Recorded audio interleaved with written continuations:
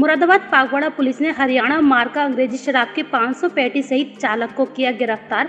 मुरादाबाद के वरिष्ठ पुलिस अधीक्षक प्रभाकर चौधरी के निर्देशों पर अपराधों की रोकथाम हेतु अभियान चलाया जा रहा है। इसी कड़ी में पागवाड़ा पुलिस द्वारा रात्रि में अपराधियों की धरपकड़ हेतु चेकिंग अभियान चलाया जा रहा है। पागवाड़ा थाने की हकीमपुर पुलिस चौकी के पास हाईवे पर पागवाड़ा पुलिस वाहन चेकिंग कर रही थी। इस दौरान शराब से लदा हुआ ट्रक वहाँ से गुजरा। पुलिस ने रुकने का इशारा किया। तो ट्रक चालक ने पुलिस को देखकर ट्रक को तेज़ी से भगाना शुरू कर दिया। वहीं चौकी इंचार्ज हकीमपुर राम कुमार ने घेराबंदी कर ट्रक को रोक लिया। चेकिंग करने पर ट्रक के अंदर हरियाणा मार्का अंग्रेज़ी शराब की 500 पेटी छापेमारी में पुलिस ने बरामद की और मौके से ट्रक चालक को गिरफ़्तार कर लिया। एसपी सिटी अमित कुमार आनंद ने जानकारी देते हुए बताया कि पागवाड़ा की चौकी हकीमपुर के पास हाईवे पर वाहन चेकिंग के दौरान पागवाड़ा पुलिस ने शराब से लदा हुआ एक ट्रक पकड़ा है, जिसमें हरियाणा मार्का अंग्रेज़ी शराब की करीब 500 पेटी पुलिस ने बरामद की है, जिनकी मार्केट कीमत करीब पचपन लाख रूपए है और ट्रक चालक कामेंद्र को भी पुलिस ने गिरफ़्तार किया है। उन्होंने बताया की पुलिस से बचने के लिए तस्करों ने ट्रक के ऊपर फल आदि रख दिए थे ताकि इस बात का किसी को पता न चल सके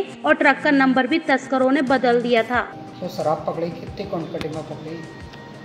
ये थाना पाकबाड़ा पुलिस ने कल रात्रि में हाईवे पे चेकिंग के दौरान एक शराब से भरा ट्रक पकड़ा है, जिसमें 500 पेटी मैकडॉवल और इंपीरियल ब्लू हरियाणा मार्का की शराब बरामद हुई है, जिसकी कुल कीमत मार्केट में करीब पचपन लाख होगी।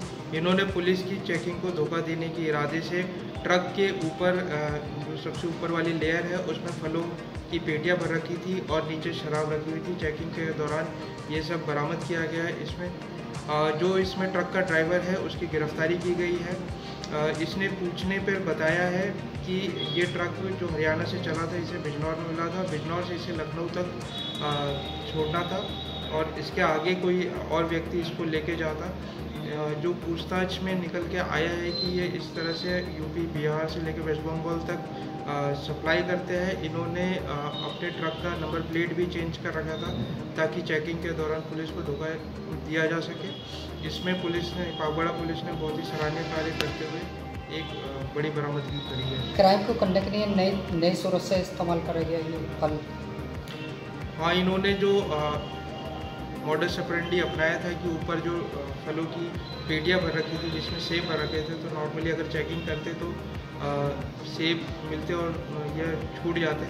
बट लेकिन इसमें प्रॉपर तरीके से तलाशी ली गई तो इतनी भारी संख्या में बरामदगी की जिसमें 500 पेटियाँ मैकडोवल और इम्पीरियल ब्लू की मिली है, जिनकी कुल वैल्यू मार्केट में लगभग पचपन लाख के करीब होगी।